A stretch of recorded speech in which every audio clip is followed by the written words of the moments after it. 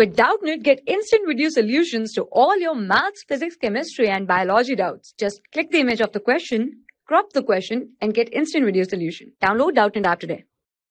Hello students, in this question, in the given diagram circuit, an ideal voltmeter connected across 10 ohm resistance reads 2 volt now we need to find the internal resistance R of each of the cell of the given battery. So in this question, we can see that we have the battery of cell 1.5 and 1.5 volt having internal resistance small r small r. So the current, a common current I flows into the entire circuit. And first we needed this current value so for finding the value of current, we needed the equivalent resistance of the circuit. So the equivalent cir circuit's resistance will be 15 into 10 upon 15 plus 10 which is 25 plus 2 ohm given plus the internal resistance of the battery. This that is 2r so we are getting the value 8 plus 2r now the current will be 3 volt divided by the equivalent resistance that is 8 plus 2R. So this is the value of current of the circuit. Now the condition of the question says voltmeter connected across 10 ohm resistance gives the reading of 2 volt.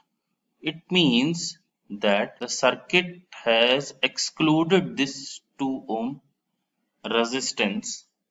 In this situation, we have 2 volt reading to be equal to current flowing and new equivalent resistance that is R prime. So I value is 3 upon 8 plus 2R and the new equivalent resistance is now involving these two resistances only which is equal to 6 ohm resistance.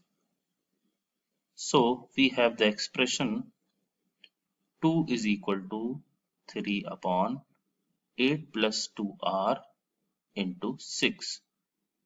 So on cancelling this we have 2 is cancelled out with 3 and uh, 8 plus 2r is equal to 9. So 2r is equal to 9 minus 8. r is equal to 1 by 2 or 0.5 ohm as the answer. So the correct option is option B as the result of this answer. Thank you. For class 6 to 12, IIT JEE and NEET level. Trusted by more than 5 crore students. Download Doubtnut app today.